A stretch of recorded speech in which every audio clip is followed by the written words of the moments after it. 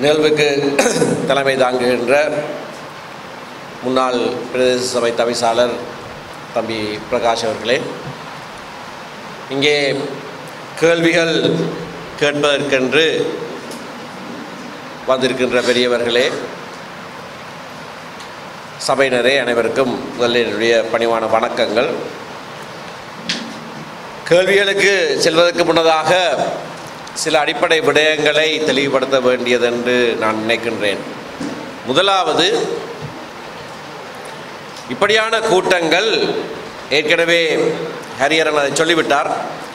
இப்படியான கூட்டங்கள் இப்பொழுது ஆரம்பிக்கப்பட்டவை அல்ல. தேர்தல் அறிவிக்கப்பட்ட பிறகு நடக்கிற கூட்டம் அல்ல. இது அல்ல முதலாவது கூட்டம். அண்மை காலத்திலே நடைபெறுகிற நான்காவது கூட்டம் இது. அண்மை காலத்திலே நடைபெறுகிற நான்காவது கூட்டம் இது. நினைக்கிறேன் ஒரு ஒன்றரை வருடங்களுக்கு முதல் முதலாவதாக இப்படியான கேள்விகள் கேட்கிற ஒரு கூட்டம் நடைபெற்றது. இரண்டாவது வீரசிங்க மண்டபத்தில் நடைபெற்றது. இரண்டாவதாக சாவச்சேரியிலே ஒரு கூட்டம் நடைபெற்றது. அதிலே தான் திரு வித்யாதரன் சில கேள்விகள் கேட்டார். மூன்றாவதாக விரிசிகள் கேட்டீங்க வாங்கியா?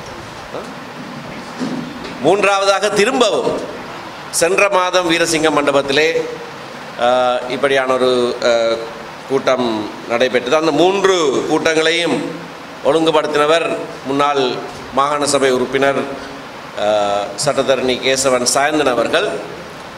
அந்த கூட்டங்கள் முதலாவதோ இரண்டாவது கூட்டம் நடைபெறுகிற போதே பிரகாஷ் இடத்திலே கேட்டிருந்தார் வலியாமத்திலேயும் ஒன்று செய்ய வேண்டும். திரு சுகிதன் முன்னாள் மாகாண உறுப்பினர் மாகாண உறுப்பினர் கேட்டிருந்தார் வடமராட்சியிலையும் ஒன்று செய்ய வேண்டும் என்றெல்லாம் கேட்டிருந்தார்கள். நானும் சில சமயங்களிலே நேரங்களை ஒதுக்குறதிலே பின்னின்றதுனாலே இது தடைப்பட்டிருந்திருக்கக்கூடும். ஆனாலும் ஒரு விஷயம் தேர்தல் காலத்திலே இப்படி கூட்டங்கள் நடத்துவது நல்லதல்ல என்று எங்களுடைய கட்சியிலே ஒரு சிந்தனை இருக்கிறது. அண்மையிலே எங்களுடைய கட்சி கூட்டத்திலே எனக்கு இப்படியான ஒரு எச்சரிக்கை கொடுக்கப்பட்டது. நீங்கள் மற்ற நேரங்களில் போய் என்னன்னு சொல்லி போட்டு போங்கோ. தேர்தல் நேரத்தில் நீங்கள் மட்டாக்களை கேள்வி கேட்க பண்ணுறது நல்ல விடயமா என்று என்னிடத்திலே கேட்டார். ஒரு கருத்து சொல்லப்பட்டது. ஐந்து பேர் கேள்வி கேட்கிறார்கள். ஒருவர் பதில் சொன்னால் அந்த ஐந்து பேருடைய கருத்துக்களும் சமூக வலைத்தளங்களில் மும்முரமாக பதிவாகிறது. உங்களுடைய பதில் அவனுக்கு நல்லாக வரவில்லை என்று சொன்னார் ஆனபடினால இந்த கூட்டங்களை தவிர்த்து கொள்ளுதல் நல்லது என்ற ஆலோசனை எனக்கு கொடுக்கப்பட்டிருக்கிறது. அதையும் மீறி நான் இந்த கூட்டத்திலே கலந்து கொள்கிறேன். தேர்தல் காலமாக இருக்கட்டும் என்ன காலமாகவும் இருக்கட்டும் விசேடமாக தேர்தல் காலத்திலே மக்களுக்கு பொறுப்பு கூற வேண்டியவர்கள் மக்களாலே தெரிவு செய்யப்பட்டவர்கள். ஆகையினாலே அதனை நாங்கள் தவிர்க்கக்கூடாது நாங்கள் தவிர்க்க மாட்டோம். இன்றைக்கு ஆரம்பத்திலே கேட்கப்பட்ட பல கேள்விகளிலே ஒரு எதிர்பார்ப்பு ஒரு பின்னணி எதிர்பார்ப்பு இருந்தது துல்லியமாக தெரிகிறது. அதாவது இலங்கை தமிழரசு கட்சி அல்லது தமிழ் தேசிய கூட்டமைப்பு என்பது ஒரு அரசியல் கட்சி மட்டுமல்ல. அது எங்களுடைய வாழ்க்கையினே எல்லா விடயங்களையும் கவனிக்க வேண்டிய ஒரு அமைப்பு. கேட்க சந்தோஷமாக இருக்கிறது. அப்படியான ஒரு பாரிய எதிர்பார்ப்பு மக்களிடத்திலே இருப்பதை கேட்க ஓரளவுக்கு பெருமையாக இருக்கிறது. யுத்தம் முடிந்து பத்து வருடத்துக்கு பிறகும் அந்த எதிர்பார்ப்பு இன்னமும் எங்கள் மேலே இருக்கிறது என்று சொன்னால் அது நாங்கள் அடைந்த பாரிய வெற்றி என்றே நான் நினைக்கிறேன். இன்னமும் அந்த எதிர்பார்ப்பு இருக்கிறது என்றான் நாங்கள் ஒரு அரசியல் கட்சி தான். நாங்கள் ஒரு அரசியல் கட்சி தான். வேறு பல விடயங்களும் நாங்கள் முன்னெடுத்து செய்ய வேண்டிய பொறுப்பு எங்களிடத்தில் இருக்கிறது என்பதை நான் மறக்கவில்லை. ஆனால் அடிப்படையிலே பிரதானமாக நாங்கள் ஒரு அரசியல் கட்சி. வேறு பல விடயங்களை நாங்கள் செய்கிற போது அதிலே தாக்கம் ஏற்படாமல் அதிலே முன்னேற்றம் காணப்படாமல் அதிலே பின்னடைவு ஏற்பட்டு இருப்பதற்கான காரணமும் ஒரு அரசியல் கட்சி அதனை முன்னெடுக்கிற காரணமாக இருந்திருக்கக்கூடும். அதிலே எனக்கு சில அனுபவங்களும் இருக்கிறது. இது அரசியல் கட்சி செய்யக்கூடாது. இது ஒரு பொது அமைப்பு செய்ய வேண்டும். பல விடயங்கள் இருக்கின்றன அப்படியா ஆனால் யுத்தத்துக்கு பின்னரான காலத்திலே நாங்கள் மீண்டள வேண்டிய சூழ்நிலையிலே மக்களுக்கு தலைமைத்துவம் கொடுக்கிறவர்கள் அது அரசியல் தலைமைத்துவமாக இருக்கலாம். அரசியல் தலைமைத்துவம் தான் தலைமைத்துவமாக இருக்கிறது. அதுக்கு காரணம் அந்த யுத்த அழிவுக்கும் எங்களுடைய அரசியல் முனைப்பு தான் காரணம். எங்களுடைய அரசியல் தீர்வு சம்பந்தமாக அரசியல் விடிவு சம்பந்தமாக நாங்கள் எடுத்த நிலைப்பாடு காரணமாகத்தான் அந்த அழிவுக்கூடாகவும் நாங்கள் கடந்து வர வேண்டியதாக இருந்தது. ஆகையினாலே அந்த அரசியல் தலைமத்துவத்திடத்திலே அப்படியான ஒரு எதிர்பார்ப்பை வைத்தது நியாயமில்லாத எதிர்பார்ப்பு என்று நான் சொல்ல முடியாது. பலவிதமான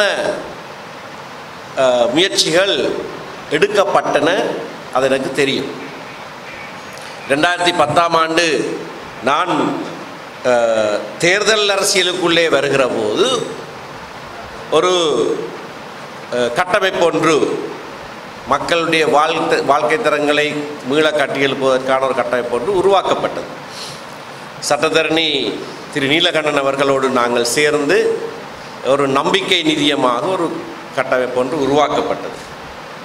ஆனால் அது உருவாக்கப்பட்டு அது நிறுவனமயமாக்கப்படுவதற்கு அரசாங்கம் எதிர்ப்பு தெரிவித்தது. அது செய்ய தடை போடப்பட்டது. அது ஒரு உதாரணமாகத்தான் சொல்கிறேன் அப்படி ஒரு நிறுவனம் இல்லாமல் நாங்கள் செயற்பட்டிருக்க முடியாதுன்னு நான் சொல்லவில்லை. நிறுவனம் இல்லாமல் பல செயற்பாடுகள் நடந்தன. நேரடியாக விசேடமாக புலம்பெயர்ந்த எங்களுடைய உறவுகள் நேரடியாக பல பங்களிப்புகளை செய்து பலவிதமான விதங்களிலே அமைப்புகள் கூட உருவாக்கப்பட்டு நடைபெற்று கொண்டிருக்கின்றன. அந்த நாட்களிலே நடந்தது. இப்பொழுது கூட பல அமைப்புகள் அந்த வேலையை செய்து கொண்டிருக்கின்றன. மருத்துவர்கள் ஒன்று சேர்ந்து பிரித்தானியாவிலே ஒரு அமைப்பு இருக்கிறது. சர்வதேச ரீதியாக இன்னொரு மருத்துவ அமைப்பு இருக்கிறது. அப்படியாக பல பல வித்தியாசமான அமைப்புகள் செய்து கொண்டிருக்கின்றன. எங்களுக்கு தெரியும் எங்களுக்கு தெரிவதற்கான காரணம் என்னவென்று சொன்னால் இங்கே வந்து அதனை உருவாக்கி அதிலே நடைமுறை சிக்கல்கள் ஏற்படுகிற போது எங்களோடு தொடர்பு கொள்வார்கள். நாங்கள் முடிந்த உதவியை நாங்கள் செய்வோம். அது முடிந்த உதவியை செய்கிற போது அது அநேகமாக சட்ட உதவியாகத்தான் இருந்திருக்கிறது. பிறகு ஒரு கேள்வி என்று கேட்கப்பட்டது அது ஏன் சட்டவாளர்கள் பாராளுமன்றத்துக்கு அனுப்ப முனைகிறீர்கள் என்று? இதுக்கு ரெண்டு பதில் இருக்குது. முதலாவது பதில் யுத்தத்துக்கு முன்னரான காலப்பகுதியை பாருங்கள் எங்களுடைய பிரதிநிதிகளிலே எழுபது சதவீதமானவர்கள் சட்டத்திறமைகள். சட்டத்தை இயற்றுகிற சபைதான் பாராளுமன்றம். சட்டத்தை இயற்றுகிற சபைதான் பாராளுமன்றம். ஆனபடியினாலே அனைவரும் சட்டத்தரணிகளாக இருக்க வேண்டும் என்ற தேவை கிடையாது. சமூகத்தில் எல்லா இடங்களிலிருந்தும் பங்களிப்பு வர வேண்டும்.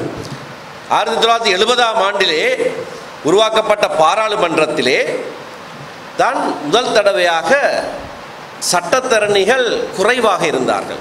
ஒரு பெரிய வீழ்ச்சி இருந்தது சட்டத்தரணிகள் எண்ணிக்கையிலே. அதனால் தான் ஒரு விசேட திட்டம் ஒன்று உருவாக்கப்பட்டது. அம்மையார் ஸ்ரீமாவோ டாஸ் சத்வத்த டாஸ் பண்டாரநாயக் என்ன செய்தார் என்றால் சட்டசபையிலே சட்டம் துப்புரவாக தெரியாதவர்கள் பலர் வந்து விட்டார்கள். இவர்களுக்கு சட்டம் படிப்பிக்க வேண்டும் என்று சொல்லி சட்ட கல்லூரிக்கு அனுமதி பரீட்சை எழுதாமலே பாராளுமன்ற உறுப்பினராக இருந்தால் சட்டக்கல்லூரிக்கு போய் சட்டத்தரணியாக வர முடியும் என்கின்ற ஒரு அமைப்பை உருவாக்கினவர். அதனாலே நன்மை பெற்றவர் தான் முன்னாள் ஜனாதிபதி மஹிந்த ராஜபக்ச. எங்களுடைய தரப்பிலேயும் ஒரு சிலர் இருந்திருக்கிறார்கள் அப்படி. அவர்களுடைய பெயர்களை நான் இப்பொழுது சொல்லவில்லை.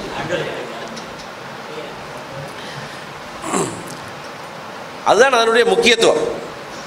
ஆனால் இன்றைக்கு இன்றைக்கு தமிழ் தேசிய கூட்டமைப்பை பிரதிநிதித்துவப்படுத்துகிற பதினாறு பேரில் இரண்டு பேர் தான் சட்டத்தரணி கடந்த கடந்த பாராளுமன்றம்.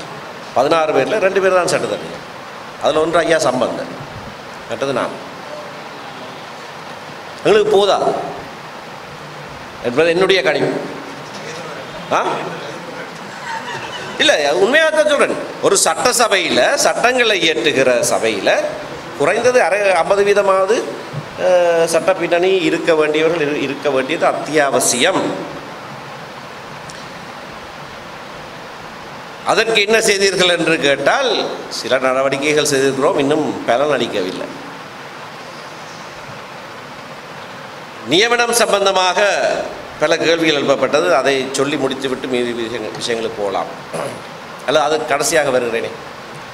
இந்த கட்டமைப்பு பற்றியும் பொருளாதார வளர்ச்சி பற்றியும் விசேடமாக கல்வி பற்றியும் கேள்விகள் எழுந்தன. நாங்கள் ரெண்டாயிரத்தி பத்தாம் ஆண்டிலிருந்து நான் பத்தாம் ஆண்டிலிருந்து பேசுகிறேன் பத்தாம் ஆண்டில் இருந்து எடுத்த பல முயற்சிகள் முன்னேறாமல் இருந்தபோது தான் நாங்கள் பதிமூன்றாம் ஆண்டு மாகாண சபை தேர்தலில் நாங்கள் போட்டியிட்டோம். கடைசியாக நடந்த கேள்வி பதில் நிகழ்ச்சி வ- வீரசிங்க மண்டபத்திலே நான் ஒரு கருத்தை சொல்லியிருந்தேன். எப்படியாக நாங்கள் மாகாண சபை தேர்தலில் போட்டியிட எடுத்த முடிவை பற்றி. நாங்கள் மாகாண சபையில் நிராகரித்தவர்கள். முதலாவது மாகாண இணைந்த வடகிழக்கு மாகாண சபை தேர்தலிலே போட்டியிடாமல் இருந்தவர்கள். முதலாவதாக நடந்த கிழக்கு மாகாண சபை தேர்தலிலே போட்டியிடாமல் இருந்தவர்கள். ஆனால் ரெண்டாயிரத்தி பன்னெண்டிலே கிழக்கு மாகாண சபை தேர்தல் முதலாவது வந்தபோது போட்டியிட்டவர்கள். பதிமூன்றிலே வடக்கு மாகாண சபைக்கு போட்டியிட்டவர்கள். நான் அன்ற கூட்டத்திலே சொல்லியிருந்தேன் அதை அதை பற்றிய ஒரு கொள்கை மாறுபாடு ஒன்று ஏற்பட்டதாக நாங்கள் கட்சிக்குள்ளே எந்த விதமான பேச்சுவார்த்தையும் நடக்கவில்லை ஒரு கலந்துரையாடலும் நடக்கவில்லை. ஆனால் அது ஒரு பாரிய கொள்கை மாற்றம் நடந்தது. எந்தவித கலந்துரையாடலும் இல்லாமல். அதற்கு காரணம் மக்கள் மத்தியிலேயே அந்த கொள்கை மாற்றம் ஏற்பட்டு விட்டது. ஒருவரும் கல்வி கேட்கல. ஒருவரும் கல்வி கேட்கல.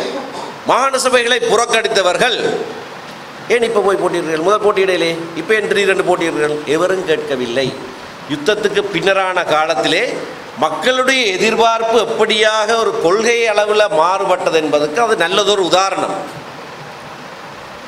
இன்றைய கூட்டத்திலே கேட்கப்பட்ட கேள்விகள் எங்களுடைய மக்கள் மத்தியிலே இருக்கிற இன்னொரு கொள்கை மாற்றத்தினுடைய அறிகுறியாக நான் காண்கிறேன். முதலாவது பேச்சாளரே சொன்னார் எல்லாம் முடி முடிந்து முடிஞ்சதா இல்லையா எல்லாமே முடிஞ்சது. விசாரணை மட்டும் முடியல எல்லாமே முடிஞ்சது. இன்னொரு சொன்னார் என்ன என்ன பெற்று தருவீர்கள் நான் கேட்க கேட்க போகிறேன் இல்லை. இது நீங்களாக சொல்லுகிற மக்களுடைய மனங்களை இங்கே நீங்கள் பதிவு செய்கிற எண்ணங்களாக இருந்தால் நாங்கள் எப்படி அதனை பெற்றுக்கொள்ளுகிறோம் என்றால் மக்களுடைய கொள்கை நிலைப்பாட்டிலே கூட ஒரு மாற்றம் ஒன்று ஏற்படுகிறது. எதிர்பார்ப்பிலே மாற்றம் ஒன்று ஏற்படுகிறது. கடந்த அரசாங்கத்திலே இரண்டாயிரத்தி பதினைந்தாம் ஆண்டு உருவாக்கப்பட்ட அரசாங்கம் ஆகஸ்ட் ரெண்டாயிரத்தி பதினைந்து பதினாறு பதினேழுகளிலே அபிவிருத்தி சம்பந்தமாக ஜனாதிபதி மைத்ரிபால சிறிசேன வடக்கு கிழக்கு சேலணி சேலனி. ஒன்றை உருவாக்கி வடக்கு கிழக்கு பாராளுமன்ற உறுப்பினர்களை அழைத்த போது அதற்கு போகக்கூடாது அதிலே பங்கு பெற்றக்கூடாது என்றொரு அழுத்தம் எங்களுக்கு ஏற்பட்டது. அப்பொழுது வடக்கு முதலமைச்சராக இருந்த திரு விக்னேஸ்வரனையும் அந்த கூட்டத்துக்கு அழைத்த போது அவரை நிராகரித்தார். நாங்கள் அபிவிருத்தி அரசியல் செய்யவில்லை நாங்கள் உரிமை அரசியல் தான் செய்கிறோம் என்று அவர் வெளிப்படையாகவே ஜனாதிபதிக்கு பகிரங்க கடிதம் ஒன்று எழுதினார். நாங்கள் போனோம் ஒரு விளக்கத்தை கொடுத்தோம் ஐயா சம்பந்தன் மிக தெளிவாக நீண்ட விளக்கம் ஒன்றை கொடுத்திருந்தார். எங்களுடைய மக்கள் இப்பொழுது இருக்கிற சூழ்நிலையிலே மீள் கட்டுமானம் யுத்த அழிவுக்கு பின்னால் நாங்கள் மீள் அழுகை இந்த விடயங்களிலே நாங்கள் பங்கு கொள்ள வேண்டும் என்பது எங்களுடைய மக்களுடைய எதிர்பார்ப்பு. அதனாலே நாங்கள் அதை செய்கிறோம். அது சரணாகதி அரசியல் அல்ல. இணக்க அரசியல் என்ற பேரிலே இதுகால வரைக்கும் நடத்தப்பட்ட அரசியலும் அல்ல. ஆனால் ஓரளவுக்கு பல விடயங்களில் இணங்கி செய்கிற ஒரு முறை.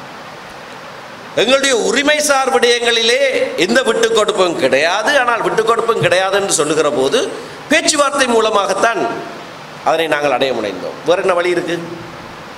வேற என்ன வழி இருக்கிறது? பேச்சுவார்த்தை மேசையிலே அமர்ந்திருந்துதான் நாங்கள் அதனை முன்னெடுக்கிறோம். பேச்சுவார்த்தை மேசையிலே அமர்ந்திருந்து முன்னெடுக்கிற போது விட்டு கொடுப்பு இருக்கத்தான் செய்யும். இருக்கும். எங்களுடைய அடிப்படை நிலைப்பாடுகளிலே நாங்கள் விட்டு கொடுப்புகள் செய்யாவிட்டாலும் உங்களுக்கு தெரியும். இடைக்கால அறிக்கை வந்தபோது என்ன விதமாக நாங்கள் எல்லாம் விமர்சிக்கப்பட்டோம்? எல்லாம் விட்டு கொடுத்து விட்டார்கள். இது ஒற்றையாட்சி என்று சொன்னார்கள். ஒரு வரைவு வந்தபோது இது ஒற்றையாட்சி அங்கே ஒற்றையாட்சி என்று இல்லை. அது வேறு விஷயம். அதை பற்றி ஒருவரும் கேள்வி கேட்கவும் இல்லை. நான் அதுக்கு இப்போ பதில் சொல்ல போகிறதும் இல்லை. ஏராளமான பதில்கள் சொல்லி முடிந்தாயிற்று. ஆனால் விட்டு கொடுப்பு செய்தோம்.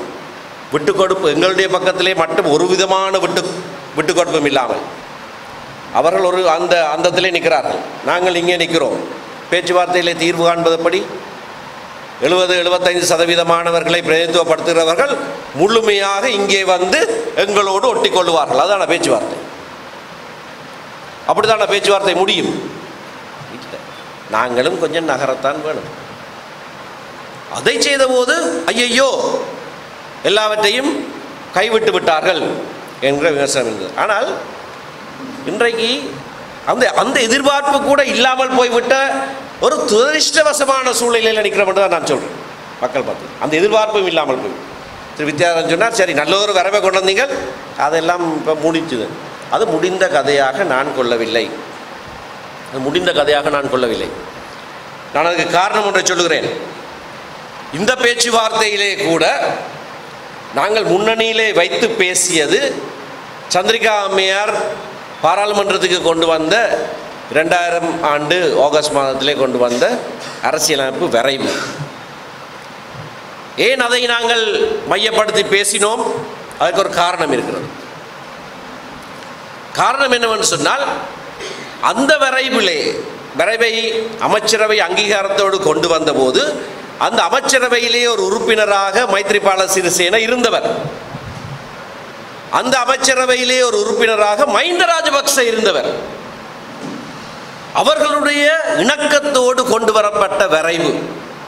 நாங்கள் பேசுகிற போது ஏதாவது தருணத்தில் இல்லை இது செய்ய முடியாதுன்னா இல்லை உங்களோட தலைவரை இணங்கினது தானே இது. இதில் இணக்கம் இருக்கிறது. அதிகார பயிர்வு சம்பந்தமாக பதினாறு கோட்பாடுகளை நாங்கள் ஆரம்பத்திலே எழுதி பதினொன்றை ஏற்க வைத்தோம். பதினாறு கோட்பாடுகளை எழுதி பதினொன்றை ஏற்க வைத்தோம். இதை பாவித்து தான் ஏற்க வைத்தோம். நாலு விடயங்களை அவர்கள் ஏற்கவில்லை. அதில் வடகிழக்கு இணைப்பு ஒன்று. அந்த நேரத்தில் வடகிழக்கு இணைப்பு இப்போது சாத்தியமில்லை என்று நான் சொன்னதில்லை. அந்த இப்போதை விட்டுவிட்டு சாத்தியமில்லை என்று தான் பிரச்சாரம். இப்படி பல உதாரணங்கள். ஊடகங்களை பற்றி நிறைய பேசினார் வித்யாதரன். ஊடகங்கள் செய்கிற அட்டூழியம் எண்ணுக்கடங்காதது. அதில் இதுவும் உண்டு ஆனால் இன்றைக்கு நானும் திரு சுகீதரன் வடமராட்சியில் பலரை சந்தித்த போது ஒரு ஒருவர் சொன்னார் ஒரு கருத்து சொன்னார். ஐயா பேப்பர் எல்லாம் எழுதுறது எங்களுக்கு தெரியும். நாங்கள் பேப்பர் ஒன்றே நம்புறையில் எங்களுக்கு தெரியும் நீங்கள் எல்லாம் என்ன செய்தீங்க. அது கொஞ்சம் கேட்க சந்தோஷமாக இருந்தது. பேப்பரை நம்புறையிலேன்னு சொன்னது ஒரு பெரிய நிம்மதியாக இருந்தது. ஏன்னா பேப்பரை நம்ப நாங்கள் நம்புறதில்லை என்று அவர்கள் சொல்கிற போது என்னத்தை சொல்கிறார்கள் நாங்கள் பொய்களை நம்புவதில்லைன்னு தான் சொல்கிறார் இந்த பொய்களையும் புரட்டுகளையும் நாங்கள் நம்புவதில்லை என்று மக்களுக்கு தெளிவு இருக்கிறது ஓரளவுக்கு. சரி இந்த வரைவு இப்பொழுது வந்திருக்கிற வரைவு அவர் சொன்னதைப் போல. அப்பொழுது சந்திரிகா அம்மையார் கொண்டு வந்தார். ஏதோ ஒரு காரணம் காட்டி ஐக்கிய தேசிய கட்சி அதிலே வெளியேறியது. அவர் சொன்ன காரணம் நிறைவேற்று அதிகார ஜனாதிபதி முறையை சந்திரிகா அம்மையார் தன்னுடைய காலத்துக்கும் இன்னும் நீடித்து வைத்திருக்கிறார் என்பது தானே தவிர அதிகார பயிர்வுக்கு எதிரானது அல்ல அந்த நேரத்தில். என்றாலும் அவர்கள் நிராகரித்தார்கள். தமிழர் விடுதலை கூட்டணி நிராகரித்தது அந்த வரவை. அந்த வரவை தமிழர் விடுதலை கூட்டணி நிராகரித்திருந்தது ஆகஸ்ட் ரெண்டாயிரம் ஆண்டில். தமிழர் விடுதலை கூட்டணி பாராளுமன்ற குழு கூட்டத்தில் திரு சம்பந்தன் இதை நாங்கள் ஏற்றுக்கொள்ள வேண்டும். அதுக்கு பிறகு அடிபட்டு வேறு எதையும் பெறேன்னா அதை பெறுவோம். அது வேறு விஷயம். இப்போ வாரதை நாங்கள் நிராகரிக்க கூடாது என்று சொல்லி வாதாடி மற்றவர்கள் அதை ஏற்றுக்கொள்ளாத போது அந்த கூட்டத்தை விட்டு வெளியேறியவர். ஆனால் கட்சி கட்டுப்பாட்டுக்காக முழு தமிழர் விடுதலை கூட்டணியும் அதை எதிர்த்தது. எங்களுக்கு பல தடவைகளிலே சொன்னார்கள் ஓ நீங்கள் வேண்டாம் என்று சொன்னதை இப்போ என்ன தூக்கி பிடிக்கிறீங்க நீங்கள் வேண்டாம் விட்டதை இப்போ என்ன கொண்டு வந்து இதை தாங்க கொண்டு கேட்குறீங்க இப்படியான பேச்சுவார்த்தைகளின் மூலமாக அப்படி இப்படி அசைந்து அனைவருடைய இணக்கத்தின் பேரிலேயும் தான் விசேடமாக அதிகார பயிர்வு சம்பந்தமான விடயங்கள் அந்த விரைவிலே இருக்கிறது. அனைவரிடம் என்று சொல்லுகிற போது பாராளுமன்றத்தில் பிரதிநிதித்துவப்படுத்தப்பட்டிருக்கிற க கட்சிகள் அனைத்தினுடைய சம்மதத்தோடு. இது ஒரு பெரியதொரு விஷயம். பல தடவைகளிலே மக்களுக்கு ஆ இவர் என்ன சொல்கிறார் இது வரவு வந்துட்டால் பெரிய விஷயமா அது அவர்களுடைய ஆதங்கத்துக்கு நியாயம் இருக்கிறது. ஆனால் பேச்சுவார்த்தைகளின் மூலமாக படிப்படியாகத்தான் முன்னேற வேண்டுமாக இருந்தால் இது ஒரு பெரிய படியை நாங்கள் தாண்டியிருக்கிறோம். ஒரு பெரியதொரு படியை நாங்கள் தாண்டியிருக்கிறோம். இதை நாங்கள் எவரும் பெரிதாக சொல்லுகிறது இல்லை அதனுடைய தாற்பயம் பலருக்கு புரிவதில்லை. சம்மதனையாட்ட கேட்டால் அவர் சொல்லுவார். ஏன்? சந்திரிகா கொண்டு வந்ததை விட இப்பொழுது நாங்கள் அடைந்திருக்கிற அந்த இணக்கப்பாடு முழு பாராளுமன்றத்தில் ஏற்பட்ட இணக்கப்பாடு. ஆனபடினால்தான் மூன்றாம் தேதி ஜனவரி மாதம் ஜன ஜனாதிபதி பாராளுமன்றத்தில் உரையாற்றிய பிறகு ஏழாம் தேதி நான் அதுக்கு பதிலுரை கொடுத்த போது நான் அதை சொல்லியிருந்தேன். உங்களுடைய கட்சி உம் சேர்ந்து உருவாக்கப்பட்ட விரைவு இருக்கிறது. நீங்கள் நான்கு விடயங்களை இப்பொழுது புதிய அரசியலமைப்புக்காக சொல்லியிருக்கிறீர்கள். அதிலே மூன்று விடயங்களை முன்வைத்துத்தான் நாங்கள் அந்த ஒரு வரைவை உருவாக்கி இருக்கிறோம். அதை முன்கொண்டு செல்ல வேண்டும் என்று நான் சொல்லி அதை முன்கொண்டு செல்வது எப்படி என்ற ஒரு பாரிய கேள்வி இருக்கிறது. எங்களிலே பலருக்கு அவநம்பிக்கை. அதிலையும் நான் குறை சொல்ல போகிறதில்லை எழுபது வருஷ காலமாக எல்லா புத்திகளையும் கையாண்டு கடைசியாக இத்தனை உயிர்களையும் பலி கொடுத்து ஆயுதம் எடுத்து போராடி அதுக்கு பிறகு நீங்கள் சொன்னீங்க ஒரு அதால் செய்ய முடியாது இவர்கள் என்ன செய்ய போகிறார்கள் அந்த எண்ணத்தோட மக்கள் இருக்கிறதுல நியாயம் இருக்கிறது. ஆனால் அதற்காக அதற்காக அந்த அவநம்பிக்கை இருக்கிறது என்பதற்காக மக்களுக்கு அரசியல் தலைமைத்துவம் கொடுக்கிற நாங்கள் எல்லாவற்றையும் போட்டு விட்டு சும்மா இருக்க சொல்கிறீங்களா எங்களுடைய மக்களுடைய அரசியல் விடிவென்று நாங்கள் சொல்லுகிறது என்ன? தனித்துவமான ஒரு இனம் இந்த தீவில் சுயமரியாதையோடு வாழ்வதாக இருந்தால் தங்களுக்குரிய நிலங்களை பற்றிய கேள்வி அஹ், வணக்கத்துரிய அடிகளார் கேட்டார். நாங்கள் அதை எங்களுடைய இனத்துக்குரியதாக ஒரு மொழி அடிப்படையிலான ஒரு பிரதேசமாக நாங்கள் பாதுகாப்பதாக இருந்தால் சமத்துவமாக வாழ்வதாக கூட இருந்தால் அரசியல் அதிகாரங்கள் பயிரப்பட வேண்டியது அத்தியாவசியம் என்பதை எவரும் மறக்க மாட்டார்கள். அந்த அதிகார பயிர்வை நோக்கி நாங்கள் செய்கிற முயற்சிகள் தொடரும். அது ஒரு பொறுப்புள்ள அரசியல் கட்சியாக மக்களுக்கு அரசியல் தலைமைத்துவம் கொடுக்கிறவர்களாக நாங்கள் இருக்கிற வரைக்கும் அது தொடரும். அது தொடரும் என்பது மட்டுமல்ல அது ஆக்கபூர்வமான முறையிலே தொடரும். அது முன்னேறக்கூடிய வழியிலே தொடரும். வெறுமனே கோஷங்கள் மட்டும் போட்டுக்கொண்டு இருக்கிறவர்களாக நாங்கள் இருக்க மாட்டோம். இன்றைக்கு பல கோஷங்கள் இருக்கு. டைம் ஒரு வழியை கேட்டு பாருங்க. என்ன செய்ய போகிறார்கள் எதுவும் தெரியாது. எதுவும் சொல்லக்கு தயாரில்லை. என்ற வழியை பற்றி சிந்திக்கவே இல்லை. கோஷம் மட்டும்தான். அந்த வெட்டு கோஷங்களை ஒரு பக்கத்திலே வைத்துவிட்டு அதனாலே வருகிற விமர்சனங்களையும் நாங்கள் சுமந்து கொண்டுதான் உருப்படியாக உள்ளடக்கத்திலே ஒரு அதிகார பயிர்வு எங்களுடைய மக்களுக்கு கிடைக்க வேண்டும் என்று நாங்கள் பயணித்துக் கொண்டிருக்கிறோம். ஆனபடினால் தான் சமஷ்டி என்ற பெயர் பலகை தேவையில்லை என்று நான் பகிரங்கமாக பல தடவைகளே சொல்லிக் கொண்டிருக்கிறேன். சமஷ்டி வேண்டாம் என்று சொன்னவர்கள் தந்தை செல்வா சமஷ்டி கேட்டபோது அவருடைய வாழ் பூ வாழ்நாள் பூராகவும் அதை எதிர்த்தவர்கள் கடைசி காலத்தில் வந்து சேர்ந்தவர்கள் தான். ஆனால் அவர் தேர்தல் கேட்ட காலத்தில் எல்லாம் அதை எதிர்த்தவர்கள். இன்றைக்கு அவர்களுக்கு சமஷ்டி மேல் ஏற்பட்ட காதல் அதீத காதல். ஏதோ தாங்கள் தான் சமஷ்டியை கண்டுபிடிச்ச மாதிரி இன்றைக்கு பேசிக்கொண்டிருக்கிறார்கள். நாங்கள் என்ன சொல்லுகிறோம்? சமஷ்டிக்குள்ள சமஷ்டி என்பதில் இரண்டு முக்கிய குணாதிசயம் இருக்குது அந்த குணாதிசயம் இந்த அரசியலமைப்புக்குள்ள வருமாக இருந்தால் நாங்கள் அதை ஏற்றுக்கொள்வோம். இந்த விரைவிலே அந்த குணாதிசயங்கள் இருக்கின்றன. ஒரு பாரிய படியை நாங்கள் கடந்து வந்திருக்கிறோம். வரப்போகிற நாட்களில் இதை எப்படி அடையப் போகிறீர்கள் என்று கேட்டால் உண்மையாக சொல்லுகிறேன் எனக்கு தெரியாது. என்னுடைய நேர்மையான பதில் எனக்கு தெரியாது.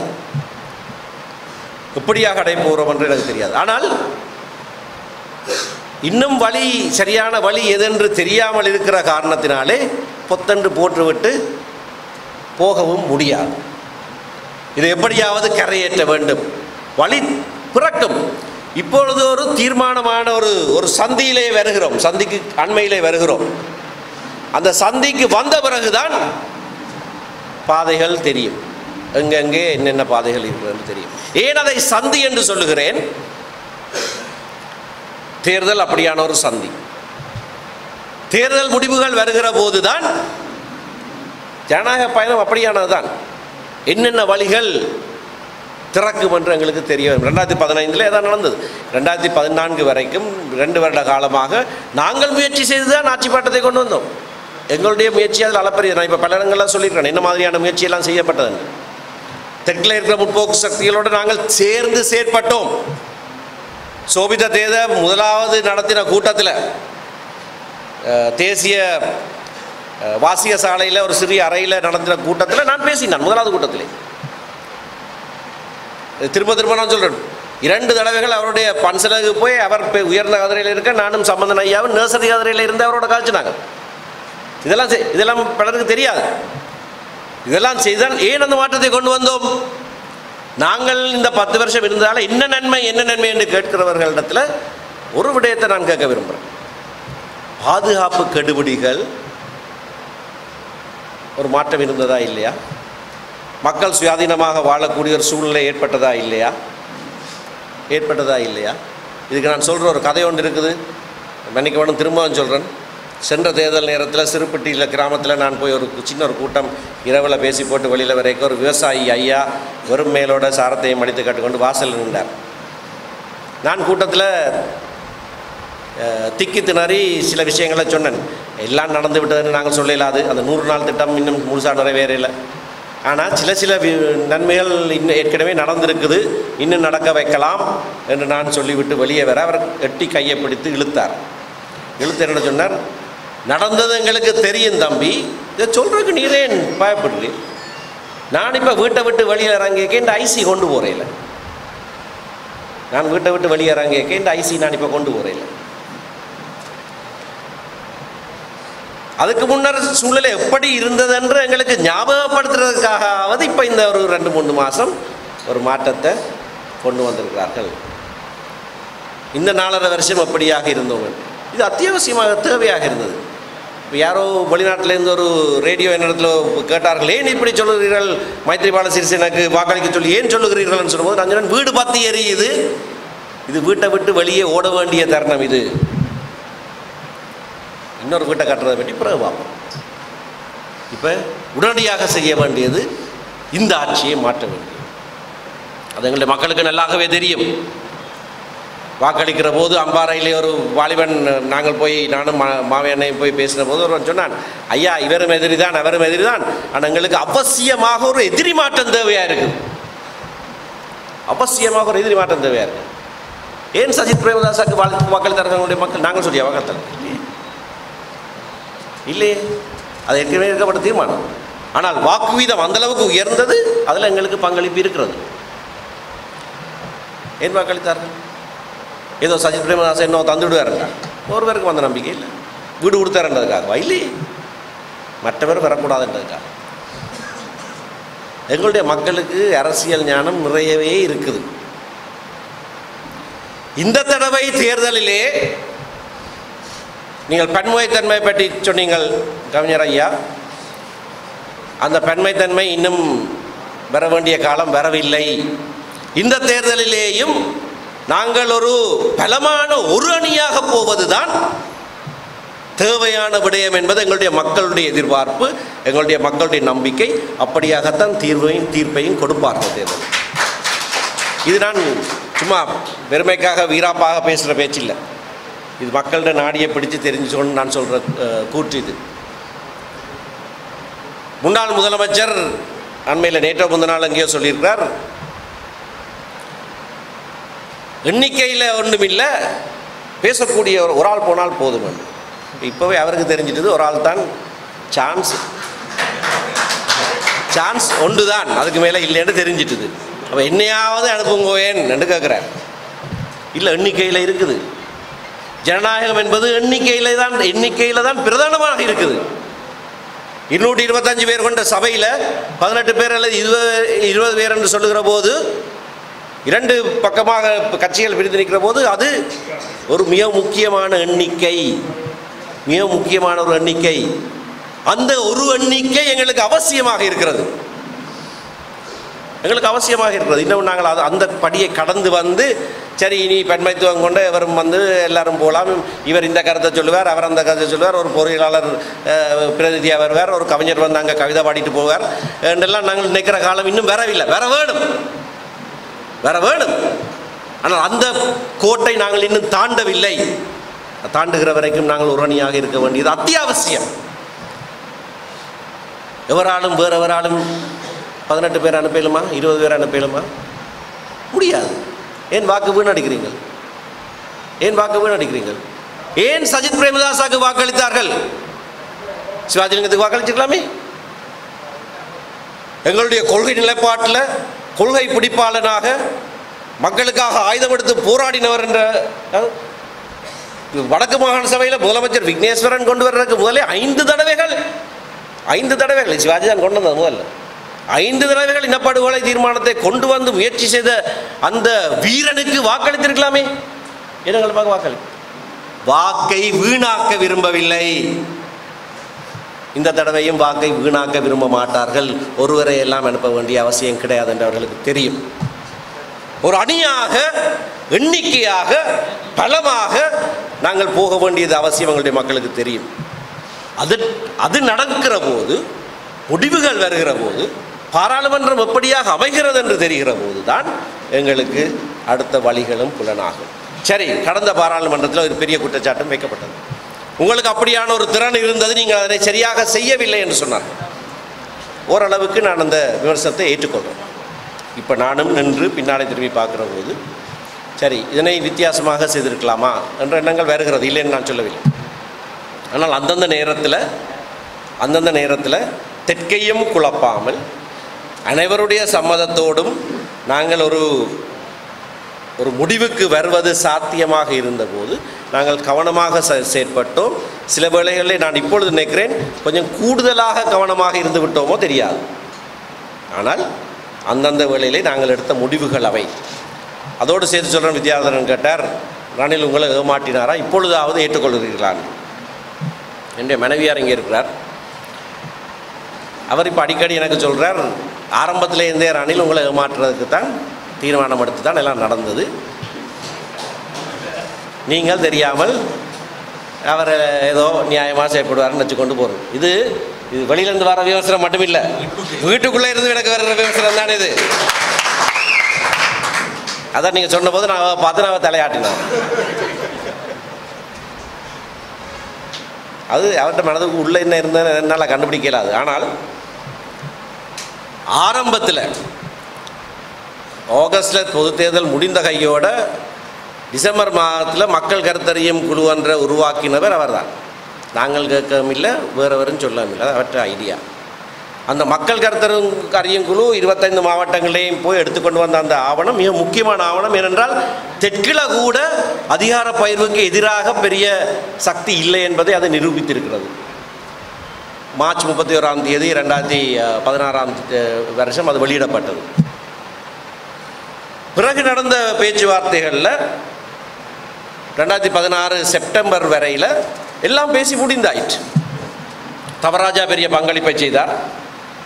நீங்கள் சொன்னது போல் திரைமறைவில் இருந்து திரைமறைவில் எங்களோடு சேர்ந்து செய்தார். எல்லா குழுக்களுடைய அறிக்கைகளும் வந்துவிட்டது.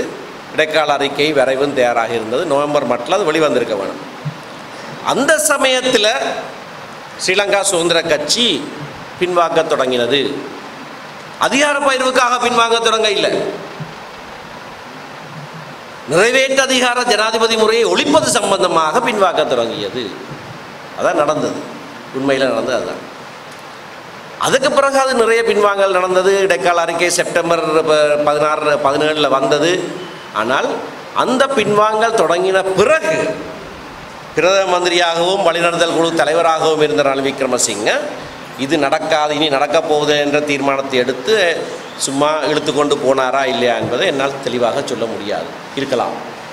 ஆனால் குறைந்தது அதுவரைக்குமாவது அதை நடப்பிப்பதற்காக அவர் முயன்றது என்று நான் நினைக்கிறேன். என்றால் அவ்வளவு துரிதமாக அந்த அவ்வளவு விடயங்களையும் அவரே முன்னின்று பல விடயங்களை செய்திருக்கிறார். அரசியலில் politics is the art of the possible சொல்வார்கள். அதாவது நடக்கக்கூடியது நட நட நடப்பிக்கக்கூடிய கலை தான் அரசியல். ஓ, நடை நட நடக்கக்கூடியதை செய்வது தான் நடக்கக்கூடியதை செய்வது தான் அரசியல் சொல்வார் நீண்ட காலமாக அரசியலில் இருக்கிறவர்களுக்கு அப்படி ஒரு அது அப்படியே பதிஞ்சு போய் இருக்கும் நிறைய விஷயங்களை செய்வதற்கு முனைவார்கள் ஆனால் பின் மனதில் இருக்கும் இது நடக்காமலும் விடலாம். விட்டாலும் அதுக்கு அது பெரிய அது பரவாயில்லை. என்றால் அந்த அனுபவம் நீண்ட அனுபவம். அப்படியாகவும் இருக்கலாம். ஆனால் எங்களை பொறுத்தவரையில் இனி அவர் என்ன செய்தார் இவர் என் விட்டார் நாங்கள் ஏமாற்றப்பட்டோமா? எங்கள் என்னிடத்தில் கேட்கப்பட்ட கேள்விகள் அந்த காலத்தில் முழுவதுமாக நீங்கள் நம்புகிறீர்களா கூட ஒருபோதும் நான் நம்புகிறேன் என்ற பதில் ஒரு இடத்துலையும் நான் சொன்னது கிடையாது. நாங்கள் நம் நம்பி இப்போ இதை செய்யவில்லை. நாங்கள் அதில் ஈடுபட்டதுக்கான காரணம் ஒரு சந்தர்ப்பம் எழுந்திருக்கிறது. ஒரு சந்தர்ப்பம் எழுந்திருக்கிறது. இரண்டு பிரதான கட்சிகளும் ஒன்றாக சேர்ந்து வந்திருக்கிற சரித்திரத்திலே முதலாவது சந்தர்ப்பமாக எழுந்திருக்கிறது. புதிய அரசியலமைப்பை செய்வதற்கான நடவடிக்கை ஆரம்பமாகிறது. அந்த சந்தர்ப்பத்தை நாங்கள் பயன்படுத்தாமல் ஓ இவர் ஏமாட்ட போயினோம்னு சொல்லி போட்டு பின்னால் சும்மா இருக்கிறதா? இருந்திருக்க முடியாது. செய்திருக்கவே முடியாது. அந்த சந்தர்ப்பத்தை நாங்கள் இயன்ற அளவு உபயோகித்தோம். அதில் எங்களுடைய ஈடுபாட்டை முற்று முழுதாக நாங்கள் செய்தோம். அதனாலே ஒரு விளைவு வந்திருக்கிறது. அதை எப்படி கொண்டு செல்லுவது அடுத்த தடவை என்பது நாங்கள் இந்த த வருகிற பாராளுமன்றத்திலே எங்களுடைய பலனை பொறுத்திருக்கிறது. இந்த கட்டுமான பணிகள் விடயங்களிலே வடக்கு மாகாண சபை உருவான போது நாங்கள் அந்த விடயங்கள் எல்லாவற்றையும் அவர்களிடத்திலே ஒப்படைத்தோம். கல்வி சம்பந்தமாக திரு குருகுலராஜா அமைச்சராக இருந்தபோது உடனடியாக செயற்பட்டு பலருடைய கருத்துக்களை எல்லாம் சிம்போசியம் ஒன்று வைத்து பலருடைய கருத்துக்களை எல்லாம் எடுத்து கல்விக் கொள்கை வடக்கிற்கான கல்விக் கொள்கை என்ற ஒரு மிக சிறப்பான ஒரு கொள்கை பத்திரம் ஒன்றை தயாரித்தார். அது நடந்தது. அதை பார்த்தவர்கள் தெற்கிலே அப்பொழுது ஜா தாசிரி ஜெயசேகர் அப்பொழுதுதான் அஹ், வாயம்பேக்கு முதலமைச்சராக வந்து விட்டார். என்னிடத்துல வந்து கேட்டார் அந்த ஆவணத்தில் எடுத்தாங்க நான் அதை நடைமுறைப்படுத்த போகிறேன் என்னுடைய மாகாணத்தில். அந்த அளவுக்கு அது அந்த செயற்பாடுகள் நடந்திருந்தது. ஆனால் ஒன்றும் நிறைவேறவில்லை. ஒன்றும் நிறைவேறவில்லை. வடக்கு மாகாண சபையை பற்றி வருகிற விமர்சனங்கள் கருத்துக்களுக்கு நான் பதில் சொன்னால் ஏதோ தேர்தல் நேரத்தில் விக்னேஸ்வரனை மலங்கடிக்கிறதுக்கு நான் சொல்கிற பதிலாக கருதப்படும். அப்படினால நான் அதுக்கு பெருசாக பதில் சொல்ல விரும்பவில்லை. ஆனால் எங்களிடத்திலே வந்த ஒரு பாரிய சந்தர்ப்பத்தை கை நழுவ விட்டதான ஒரு நிகழ்ச்சியாகத்தான் நான் அதை பார்க்கிறேன். நான் தான் அவரோடு பல தடவைகளில் அந்த நாட்டிலே ஜனாதிபதியை சந்திக்க போனவன். நானும் அவரும் தான் போயிருக்கிறோம் பல தடவைகளில் பகிரங்கமாக கூட இப்போ சொல்லி சுதந்திரம் வராட்ட நான் போக மாட்டேன். அவரோட போய் ரெண்டாயிரத்தி பதின் ஆறாம் ஆண்டு ஜனவரி மாதம் ரெண்டாம் தேதி மஹிந்த ராஜபக்சோட அமர்ந்திருந்து நாங்கள் பேச்சுவார்த்தை நடத்தின போது வெளியிலே இருந்து வருகிற பணம் எப்படியாக வடக்கு மாகாண சபைக்கு உபயோகப்படுத்தப்பட வேண்டும் எப்படியாக அது பிரித்து வைக்கப்பட வேண்டும் என்னென்ன பரிசோதனைகள் அதுக்கு நடத்தப்பட வேண்டும் எல்லாம் இணங்கப்பட்டது. ஐக்கிய நாடுகள் சபை ஒரு சமாதான நிதி மீள்கட்டுமானத்துக்கு என்று சொல்லி ஒரு பாரிய நிதியை கொடுத்தபோது அது வேண்டாம் என்று சொல்லி கடிதம் கொடுத்தவர் அவர். தன்னுடைய உறவினருக்கு ஒரு பதவி கொடுக்காவிட்டால் நான் அதை திரும்ப எனக்கு எனக்கு வேண்டாம் என்று பத கடிதம் எழுதினவர் அவர். அந்த கடிதம் எங்கள்கிட்ட இருந்தார் சரி அது ஒரு பக்கத்தில் வைப்போம். அது அது இப்போ அவர் வெளியில் இருக்கிறபடியாக அவர் விமர்சிக்கிறதாக சில பேர் நினைக்கலாம். அது நாங்கள் விட்ட ஒரு தவறு. அப்படியான ஒரு கட்டமைப்பின் மூலமாகத்தான் எங்களுடைய மக்களும் எதிர்பார்த்து வ- மாகாண சபை தேர்தலில் போட்டியிடுவதற்கு எந்தவித கேள்வியும் இல்லாமல் ஆதரவளித்ததும் அதுதான். அது ஒரு உத்தியோகபூர்வமான ஒரு கட்டமைப்பாக நாங்கள் செய்திருக்க வேண்டும். செய்ய ஆரம்பித்தோம் முழுமை வரவில்லை. அது நாங்கள் தவறி இருக்கிறோம். தமிழ் தேசிய கூட்டமைப்பு அதில் தோல்வியுற்றது என்பதை நான் ஏற்றுக்கொள்கிறேன்.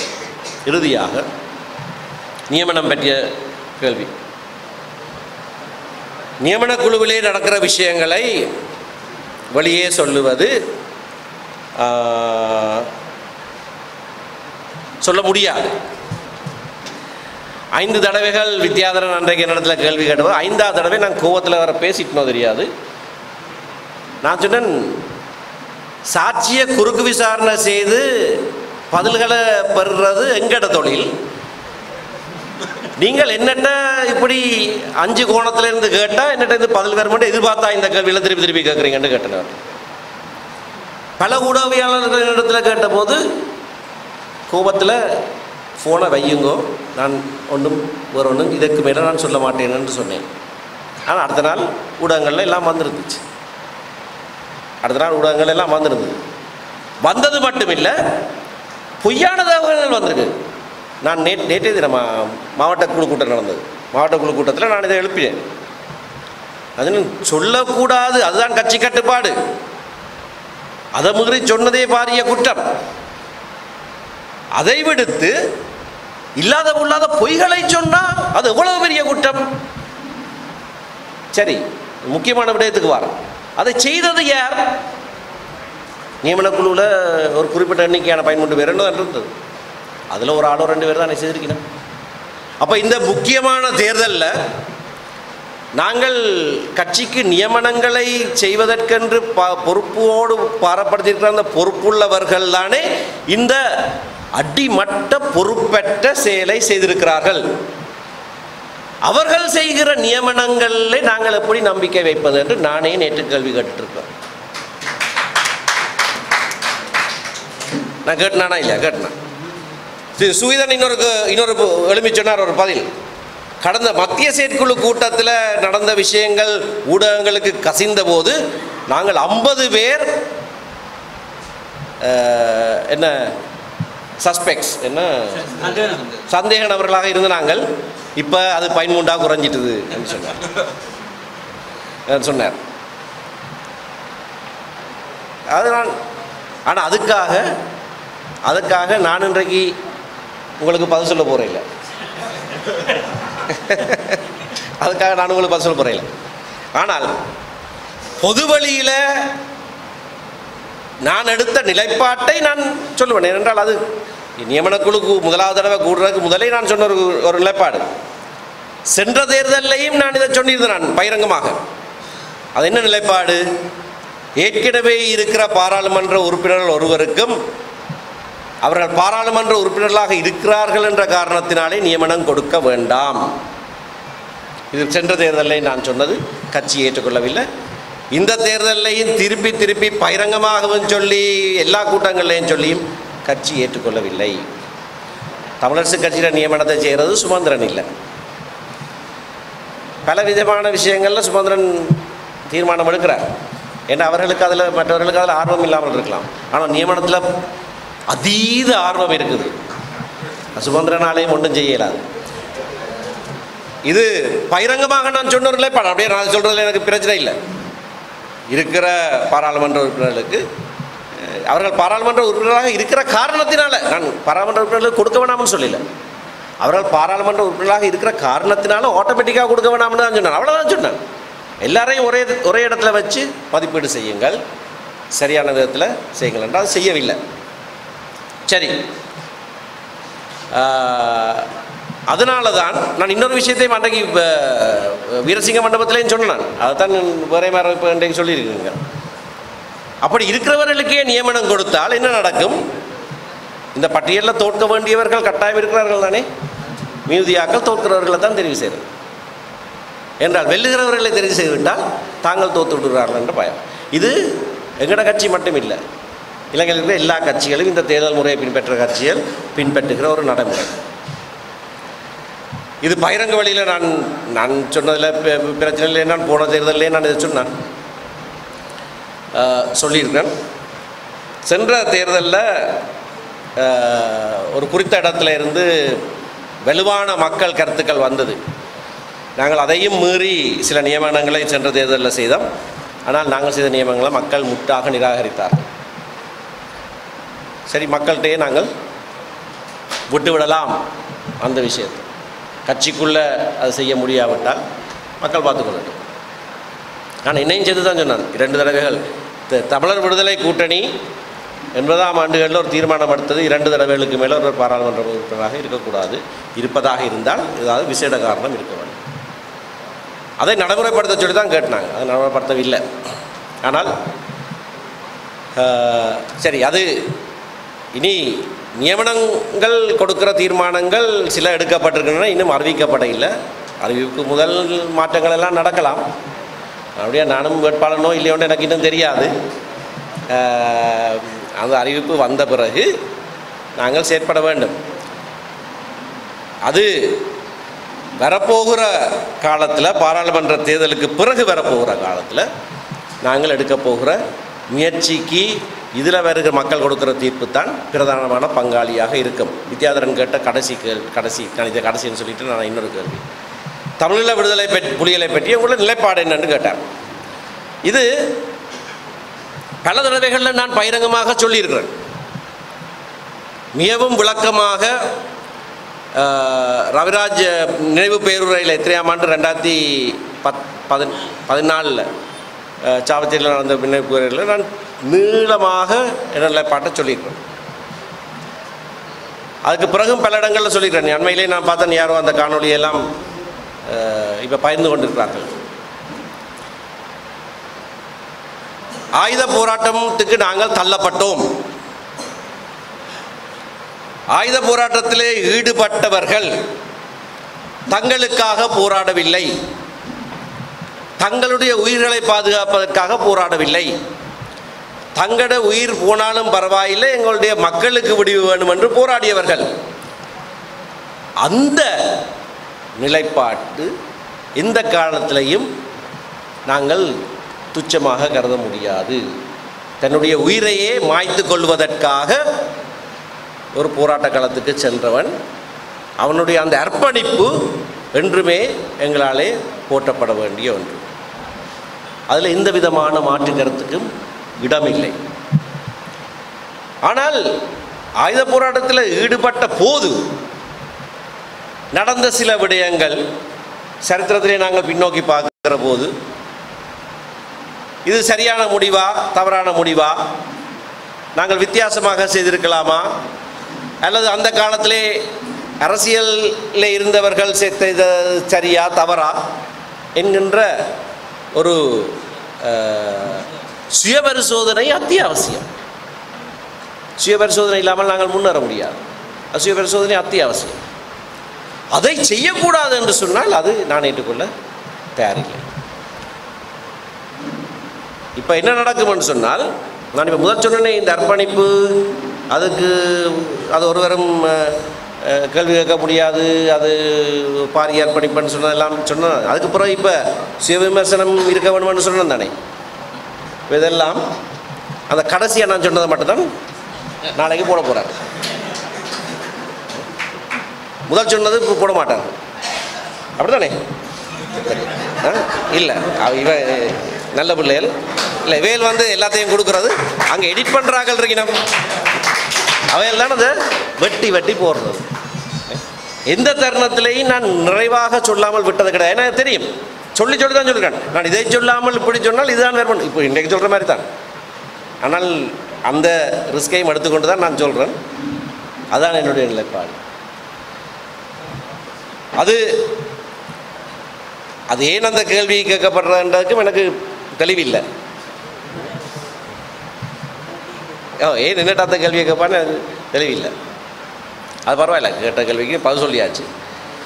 நாங்கள் ஒற்றுமையாக முன்னேற வேண்டும் என்பது எங்களுடைய மக்களுடைய எதிர்பார்ப்பு. ஒற்றுமையாக முன்னேற வேண்டும் ஏன் ஒரே கட்சி ஒரு கட்சியாக இருக்க முடியாது என்ற பயங்கர ஒரு ஒரு பாரிய ஆதங்கம் மக்கள் மத்தியில் இருக்கிறது. இந்த பெண்மைத்தன்மை பற்றி கேள்வி நான் இன்றைக்கு தான் கேட்டது. மற்றபடியெல்லாம் கேட்குற கேள்வி ஏன் நீங்கள் உண்டாயிருக்கீங்களான்னு தான் கேள்வி. அப்படியான ஒரு கேள்விக்கு நான் பதில் சொல்லிக்க தான் நான் அது என்ன செய்கிறது நாங்கள் அப்போ? ஜனநாயக சூழ்நிலை நாங்கள் என்ன செய்யலாம்? ஆயுத போராட்ட காலத்திலேயே ஓ- ஒரு இயக்கமாக இல்லையே அதை சொன்னதுக்கு வந்த வினை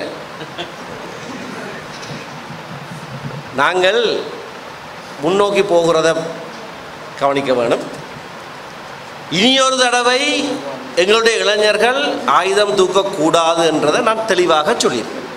அதுக்கு யாராவது மாட்டு கருத்து சொல்லுவார்களா? அதை அதை சொன்னதற்காக நடந்தது செய்திருக்க கூடாதுன்னு நான் சொல்ல இல்லை அதையும் சேர்த்து தான் சொல்ல வேண்டியிருக்கா? ஆனால் இனியொரு தடவை கடந்த அனுபவத்தை வைத்துக்கொண்டு இனியொரு தடவை எங்களுடைய இளைஞர்கள் ஆயுதம் தூக்கக்கூடாது. சரி. அப்போ எப்படி நாங்கள் எங்களுடைய உறுத்துக்களை பெறுவது? எப்படி நாங்கள் சுயமரியாதையோடு இந்த நாட்டில் வாழ்வது? எப்படியாக நாங்கள் எங்களுடைய பொருளாதார அபிவிருத்தியை மேற்கொள்வது? ஒரு பேரினவாத சூழலில் நாங்கள் எப்படி முன்னேறுவது எப்படி ஒரு சமூகமாக கலை கலாச்சாரங்களை மேம்படுத்துறதுக்கு கூட சில கட்டுப்பாடுகள் வரும். எப்படியாக அதை செய்வது? அதை செய்கிறது ஒரு ஜனநாயக சூழலில் நாங்கள் சர்வதேச சூழலையும் ஆராய்ந்து தான் நடவடிக்கை எடுக்கிறோம். சில வேட்பாளர்களை பற்றி சில கேள்விகள் கூட வந்தது. சர்வதேச சூழலை ஆராய்ந்து இந்த இலங்கை அரசாங்கத்துக்கு பல விதங்களில் நெருக்கடி கொண்டு வருகிற முறைகளையும் நாங்கள் கையாளணும் அது எல்லாருக்கும் தெரிந்த விஷயம். அதை நாங்கள் தீவிரமாக கையாளவில்லை என்ற ஒரு பாரிய குற்றச்சாட்டு இருந்து கொண்டிருக்குது. குற்றவியல் நீதிமன்றத்தில் கொண்டு போய் நிறுத்தல. ஒருத்தர் நீங்கள் ஒருத்தரும் கேட்கல. நீங்கள்லாம் படித்தாக்கள் குற்றவியல் நீதிமன்றத்தில் கொண்டு போய் கொண்டு போய் நிறுத்தலையே ஏன் நிறுத்தலைன்ட்டு அந்த கேள்வியெல்லாம் கேட்டுக்கொண்டிருக்காங்க. எதை செய்ய முடியும்? இந்த கருவியால் எதனை அடைய முடியும்? மற்ற இந்த அமைப்பால் எங்கே போக முடியும் என்று நிதானித்து செயற்பட வேண்டிய பொறுப்பு எங்கள்கிட்ட தான் இருக்குது. மக்கள் எங்களிடத்தில் அந்த பொறுப்பை கொடுத்துருக்கிற போது நாங்கள் தான் பொறுப்பாக செயற்பட வேண்டிய ஒரு நிர்பந்தம் இருக்கிறது. எவரவருக்கு அந்த பொறுப்பு கொடுக்கப்படவில்லையோ அவர்கள் வேணுமானதை பேசலாம். பொறுப்பற்று பேசலாம். அதை செய்து கொ- திறமையாக செய்து கொண்டும் இருக்கிறார்கள். ஆனால் எங்களிடத்தில் அந்த பொறுப்பு சுமத்தப்பட்டிருக்கிற வரைக்கும் நாங்கள் எது சாத்தியமானது எப்படியாக ஒரு வழி திறக்கிறது என்பதை நான் தான் செய்ய வேண்டும். நேர்மையை பற்றி சொல்லப்பட்டது நேர்மை மிக மிக முக்கியமானது இதில். இந்த அந்த கருத்துக்கு தான் வரேன். நேர்மை மிக மிக முக்கியமானது. சாதிக்க முடியுமோ இல்லையோ நேர்மையாக முயற்சி செய்தார்கள் இயலுமான எல்லாவற்றையும் செய்தார்கள் என்று மக்கள் நம்பினால் மக்கள் அந்த அரசியல் தலைமையோடு தான் இருப்பார்கள். அப்படியாகவே இந்த தடவையும் எங்களோடு இருப்பார்கள் என்று நான் நம்புகிறேன். நன்றி வணக்கம். பல்வேறு